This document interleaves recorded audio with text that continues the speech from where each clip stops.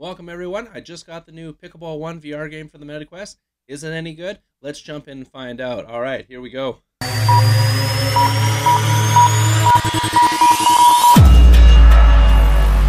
right, guys, we're gonna jump right into the game here. So for those of you who haven't seen what a MetaQuest looks like, it's that portable headset. So flip my hat around and we'll dive right in. See you on the other side.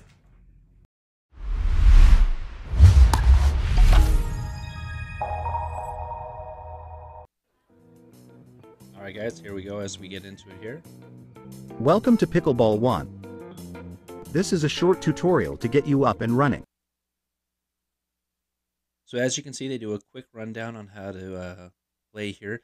Now, I did check. They do have a full in-depth tutorial where they show all the rules, the two bounce rule, all that stuff, the rules in the kitchen. Uh, we're going to bypass that.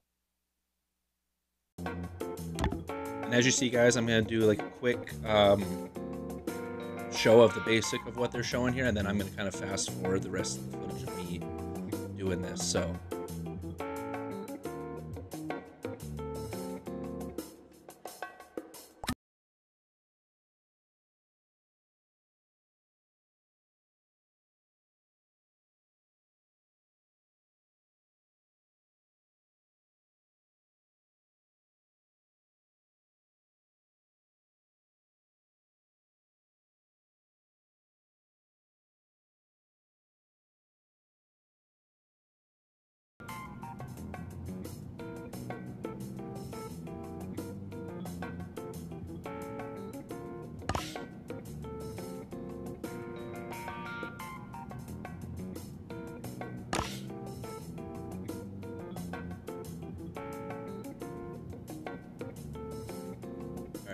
some service here.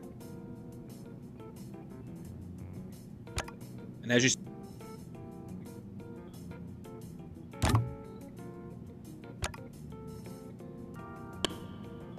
as you can see here, it takes me a sec or two to kind of get used to it because, of course, you're just swinging in air. It takes a second to get used to the paddle. If you've never played virtual reality before, some games have it where the um, controller vibrates a little bit when you hit hit with it. Other games don't. This game doesn't right now, but I can see that being an eventual update. So you kind of have to take a few swings with it to adjust to how the paddle hits the ball or the virtual paddle hits the ball when you swing your uh, remote.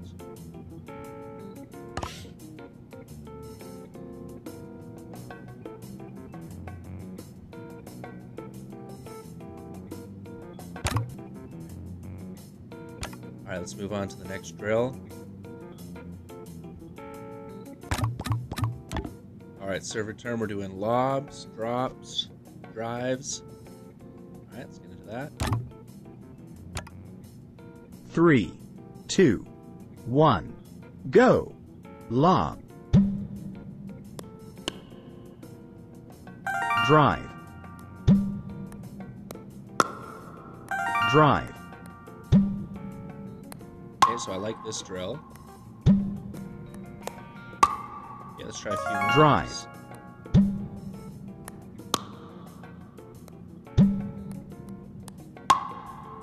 Lob.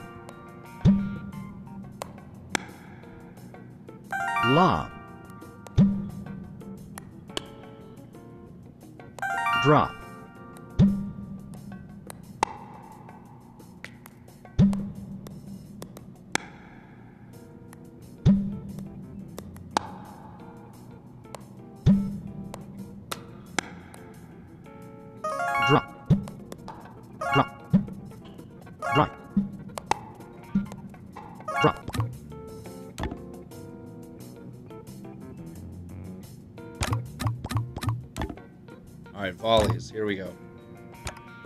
Volleys going. Three, Okay, volleys two. going anywhere. one, go. There we go. Volley. Okay, and it's got the. I like how it's making us think side, Dink. side to side.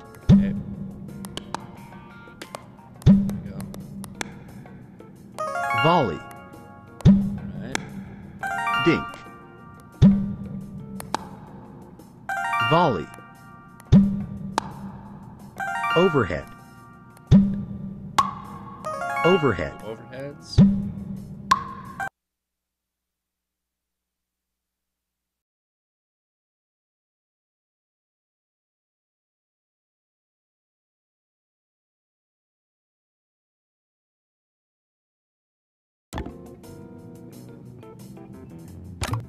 All right, moving on. Okay, so next one. Let's do three, two, third shot draw. one, go. Oh, and it's Draw. Okay.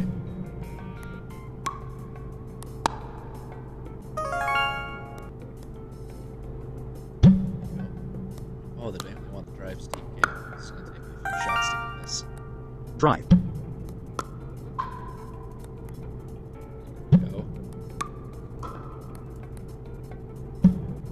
Yeah, so find the drives are a little bit hard because they want those super deep, so it takes a little bit. You can see I was putting a few way out. Drive. So finding that nice spot to, takes a few shots, but just like in real life when you're learning how to play. So alright, there we go. Same thing with my drops.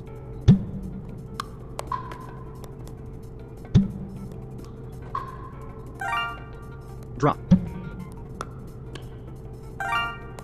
Drive.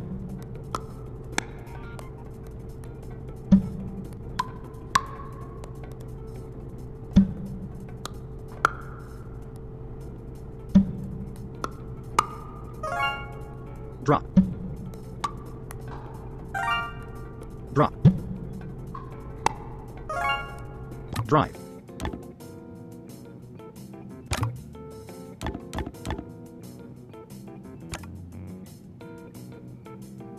Perfect. All right, let's take a quick peek here on the. Oh, you see the paddles here.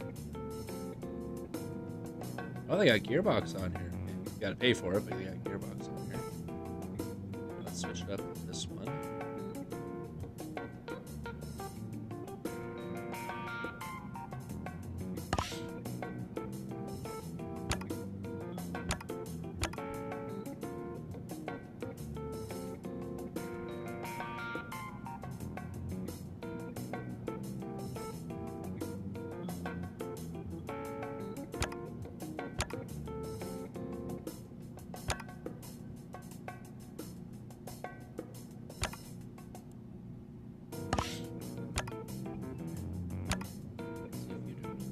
Some types they got. You got to pay for that winter. So.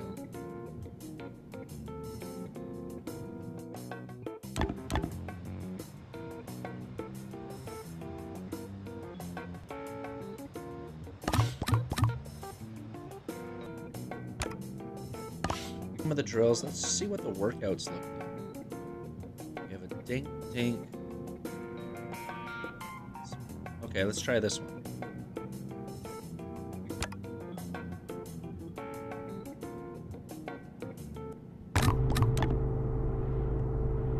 And for this one, guys, I'm gonna kind of um, I'm gonna show the first little bit, and then I'm gonna kind of fast forward through here, because it is for like a uh, four minute one. Three, two, one, go.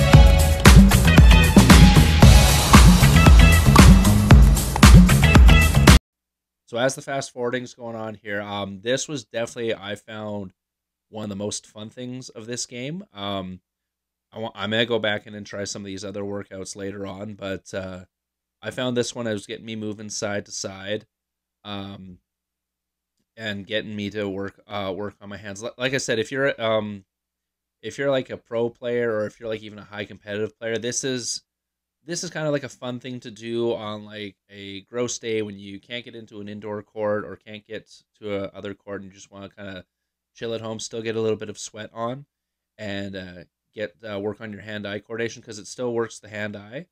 Um, so far, the ball physics are pretty good here. I'm getting a decent bit of spin with those backhand dinks, with my forehand dinks as well.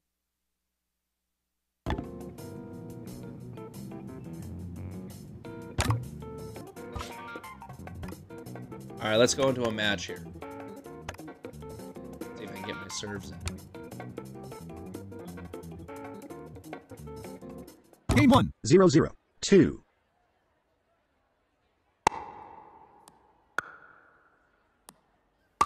And as you can see, guys, I've selected the auto run. Um, so that one you just have to press a button to go up to the volley thing.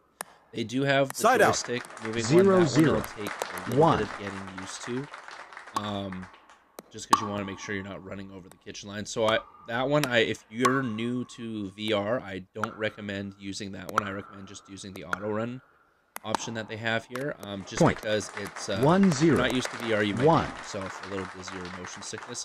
I recommend um, um, doing about 20 minutes at a time if you're not used to VR at first to get your eyes Point. and your body Two to zero. to uh, One. all this stuff come at you in your face and then and then it actually not being there. Because I've Point. seen people like Three tip over and stuff. zero. You can probably you've One. probably seen hundreds of TikTok and YouTube videos of people falling over. So, um, if if you are a uh, regular VR user, um, you can definitely switch to this version.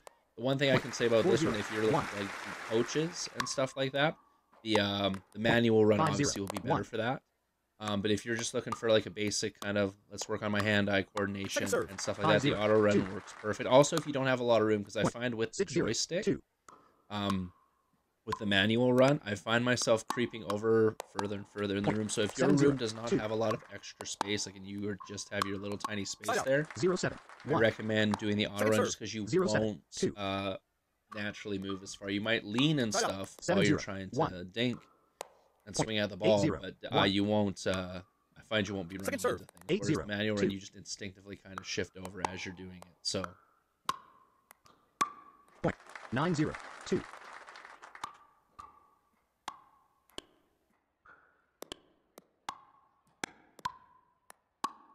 Side out. Zero nine. all right, let's try some singles. Game one. Zero.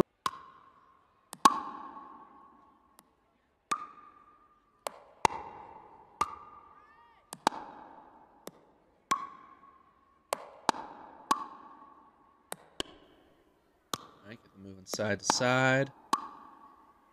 Point. One zero.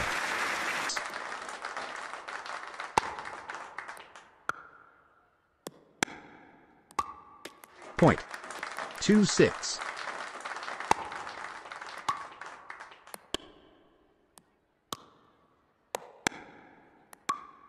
Point. Three six. All right. Okay.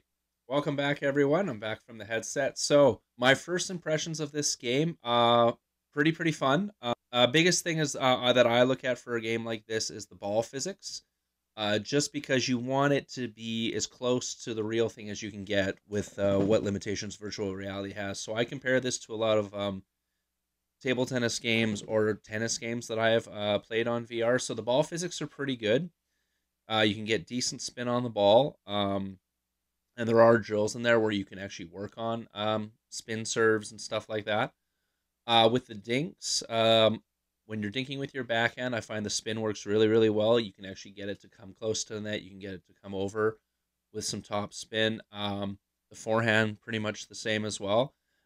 Can can be a little bit more. Not it's not um, it's not any by means like horrible. Um, I find when you're um for me who's someone who does a lot of like chop backhands, uh backspin shots, um that doesn't work very well when you're dinking. Um you can get a little roll shot with your backhand, but if you're trying to do like a little chop over the net, that one's not that one's not uh, there as much. But that's like I said, we're looking at this more as like a uh, a fun thing to do if you're stuck in stuck at the house and you can't get to the court because obviously nothing's going to beat the real thing but um, and like I said, I'm looking at this as a guy who plays competitively. So, um, really like that. I haven't tried the multiplayer one yet. As I while I was playing, there wasn't a lot of people online. Now VR is already a very niche video game, so there's not a huge, uh, a massive population depending on the type of games that you're playing. So, but I ha- I did see on um, on their thing they actually had like a little mini tournament that they had in there. So I'm gonna keep an eye out for that. And maybe who knows, maybe we'll do like a live stream on Instagram or something if uh, there's a tournament, and I'll uh, go into that and try it out. But I will try the multiplayer game uh, or the multiplayer side of it again. Um, the regular play when you're playing with a, um, an, an AI, AI partner and AI opponents, you can up the difficulty and make it and make it pretty good. Um, I played a few extra matches there that weren't on the video uh, where uh, the games went to three sets. Um, the one drawback using the auto run is that you don't poaching is hard is harder to do because unless you have room where you're playing, you can't really step you will have to actually manually step over and hit it. Whereas if you're using the uh, manual run with the joystick, you can move around. The biggest problem with, like I said, with that is if you're not used to VR, it's it's uh jolt it's kind of jolting for the eyes and the mind uh, to run up really quick and then stop when your feet aren't actually moving. So the nice thing with the auto run is that you do a steady run up when you're getting to the the kitchen line, and then you're there at the kitchen. Um, it'll automatically move you back if the dink's close to where, where your feet would be and then you can dink it up so it adjusts to give you the best optimal shot. Now, like I said, if you're want to get a little bit more competitive and you're trying to poach, I recommend having a decent amount of space um, in the room. So then that way you can do that. I also didn't try the augmented reality where you can actually have it so you're looking at a wall. So if you find, say if you go into your garage and say you're using your garage door, and the nice thing about the Meta is it's a portable one. So as long as you have, and um, with this you wouldn't need the Wi-Fi part, but you can go into your garage outside of your house, and what you do is you draw the border on that wall, and then you step the seven feet back from it, and you can actually do it as if you're dinking off the wall. Now, where I was playing in my in uh my room here, I didn't have space to do that. I also didn't have a lot of space to move side to side. So what you can see from the videos is a lot of me just kind of letting the auto run do its thing and me dinking, but I still had a really good time and I still got competitive and I got annoyed when my AI partner messed up and stuff like that. So, um, this game's um, I found really really fun. My favorite part by far though is the uh, the workout or the drills, um, like that uh, where you saw me do that that dink dink slam workout. They have longer ones and they have other ones where you're working on different skills. And yes, I know you're not actually holding a paddle and hitting it, but the side to side lateral movement, the hand eye coordination. You still have to bring the watch your paddle come down, hit the ball over.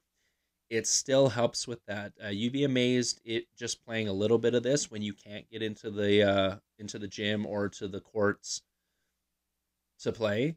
How much it'll help with your hand eye coordination. Um, I know I used to play on the VR here before there was a, like a table tennis or um, tennis games. I used to play Beat Saber to get my hand-eye coordination like at least still working on. It. It's no different than playing one of those uh, game, um, one of those things where they have the lights on the wall and you're hitting the lights like that, trying to get your reaction times and stuff down. So that's by far my favorite part of it, and I actually played it a little longer after I shot the video here, and I actually worked up a bit of a sweat. So it was, um, um, I really like the workout mode on there. I like the um, how they have regular paddles. They have elongated paddles on there for you to switch to. So if you are a regular elongated paddle user, they have an elongated paddle on there that you can uh, that you can switch your paddle to. Now I didn't try it and see how see if there was that much of a difference when you're hitting the ball, but um, but uh, it's still there as an option. So at least then visually when you're looking at it, it's more in line with the size of your paddle. So I like that. Obviously, because I'm ambidextrous and I switch hands when I play, I couldn't do that in this. So it actually fo- forced me to do more uh, backhand roll shots, even though I do do those in the game. But if the ball's a certain distance away, I'll instinctively switch to my left hand. Obviously, I couldn't do that playing in this VR game. So I like that it's focusing me to work on my footwork and move over and do that. So the biggest thing with VR um, that I'll tell you guys right now is you have to get you have to get into. You have to feel like pretend use a little bit of imagination to pretend that this is actually really happening is you'll see some people play games like this and they'll just kind of be standing there and swinging their hands back and forth like this. You can kind of do that and get away with this. VR is a little bit more unforgiving with that. You actually have to get the hand down to roughly appropriately the right spot. But if you get yourself into this and you're actually in your proper stances, you're doing your proper uh, swings and your strokes, it's really good practice when you don't have a lot of room to, uh, or when you don't have the option to say go outside. Like I'm in northern Alberta and like it's the weather's pretty nice right now, but I know come January or February it's gonna be like minus forty outside. So if I can't get to the gym to go go play, I got no option to play outside or play anywhere else. So this will be a really good thing for me to use uh, when I have some free time when I'm not spent doing stuff with the kids or uh, with Irene. So um, I'm gonna give this game probably for starters, a kind of seven out of ten. Um, as long as uh, as long as they do what most VR companies do and they keep up with it, um, as um, their programming gets better, they uh, add patches to make um, the physics of the ball a little bit better. Like I said, the physics of the ball are pretty pretty good. Um, think of it more as um, the ball moving more as like an indoor ball. So it moves a little bit slower. The bounces are a little bit higher. You can put spin on it. Um, not a lot, but you can still do it. It's a nice kind of fun game um, to play. Um, if you go to um, now, obviously they probably don't have this at like one of those VR cafes, but if they did, and you got three people to go with you, it'd be something fun to try out with that. But for something at home for you to try on your own, um, like I said, the workout mode by far is my favorite. If you are not, especially if you're not uh, into like online playing with other people, because that not that's not for everyone. I'm normally not big on online playing games, but I'm definitely gonna try the online one of this out and see if I can, uh, you know, meet some meet some people who uh, are also into pickleball because they would they have to be into pickleball if they bought this game, right? So very very fun. I recommend playing it, and um, who knows? Message me on uh, Instagram here, and if you guys want to see, maybe we'll uh, set up like a live stream where I play some uh, multiplayer matches online, and everyone can kind of check it out from there through uh, and look through my eyes and see how it looks. All right. Till next time, guys, have a good one, and I'll see you later.